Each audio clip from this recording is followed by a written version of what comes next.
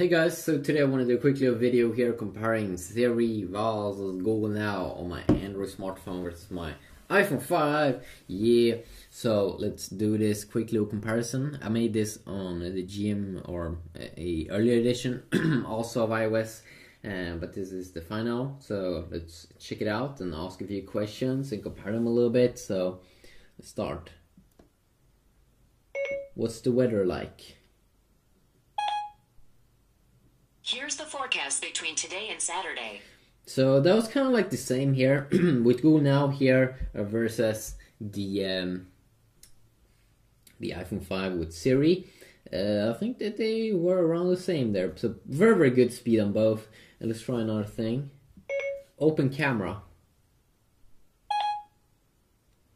So you can see here, this one immediately opens it up, while here we have an option to uh, opt out and then it will open it up. Pretty sweet. Now, of course, here we have to go back. Here we can just hold in the home button to get back. What is 15 plus 15? Looking. The answer is 30. so one cool thing here is that some apps here you immediately get like a calculator and now we can start to uh, type our own little thing 45 times blah blah blah 45 plus or times 32 Checking on that. The answer is Oops. 100. 45 times 32 Let me check that. The answer is 106. 45 times 32 Checking my sources. there we go The answer is 1440. so you can still like continue to ask it uh, but you don't get like a widget um, that you get in here uh, so you might prefer your own way set alarm at 11 p.m Your alarm set for 2300 hours. and you can tap here on both to go see here can we get into that no i can't go into that app there pretty random i think.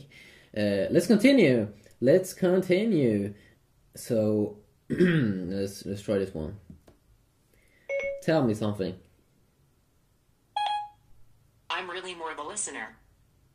So this one is of course a little bit more chat chitty chatty uh, while this one will use usually search for it sometimes bring up a widget find me the closest mcdonald's This restaurant named McDonald's looks pretty close to you. Wow, that's pretty good from both. Pretty, pretty good and impressive here from both. This one will open the app. Uh, wow, that's some pretty impressive stuff. so, very, very impressive here from both. Of course, yeah, Apple use their own Apple Maps. But you can see both here did find the location uh, to that place, uh, which is pretty pretty sweet.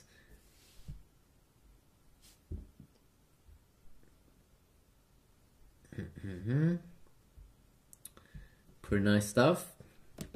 So both can work as a McDonald's finder or any other fat burger place, maybe. Okay, let's try another one. Google fat cats. Searching Google for fat cats. So this one also added Google, which I think is a little bit weird because if you say Google fat cats, then you should kind of know that uh, that I'm trying to do is fat cats. Uh, yeah, that's fun. Google dogs. Searching Google for dogs. So of course this one is quicker in terms of searching Google because this one has to open a, a another app while this one well, Goo- Google is a little bit integrated already in Google now. It's here on the name.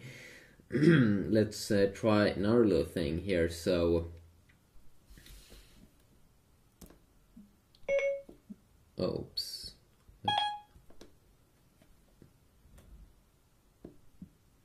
Remind me that I need to do something productive today.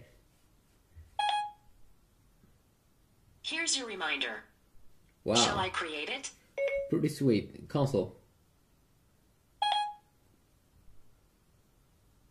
So you have also reminders on both here, so you can have a reminder in here, Okay then. Tomorrow, today, weekend, and everything. Pretty impressive stuff on both platforms here. Um, note to self I really need to get a new job. Noted. So you have both notes here. Pretty good stuff actually. So you can judge for yourself which one you think is the the more awesome one. I think both are pretty awesome. Both are very very good. You can ask them a lot of things, and in these new updates, it's really starting to get impressive how good voice assistants could be. So just quickly look at that. Hopefully you did enjoy this quickly look here at Siri versus Google Now and you can judge for yourself which one you think is the best. Have a good day.